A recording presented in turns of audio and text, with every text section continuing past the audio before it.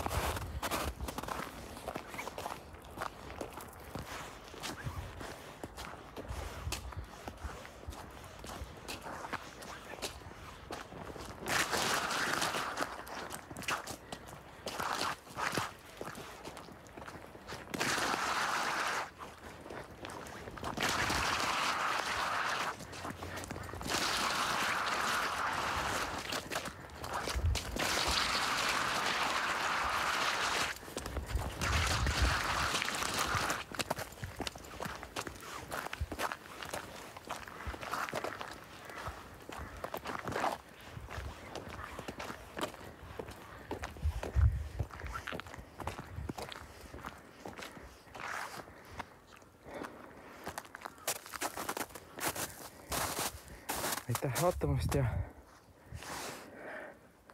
like, subscribe.